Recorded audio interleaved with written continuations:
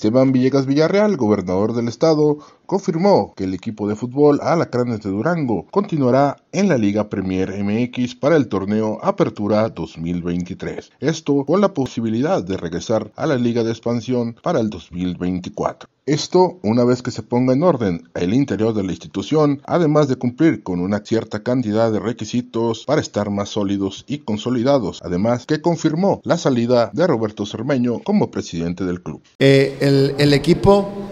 el gobierno del estado pone un recurso, pone el estadio para que un empresario sea el que tenga la carta. El equipo es de Durango, este sí tiene algo que ver el tema de Cermeño, fue lo que platicamos, le dijimos,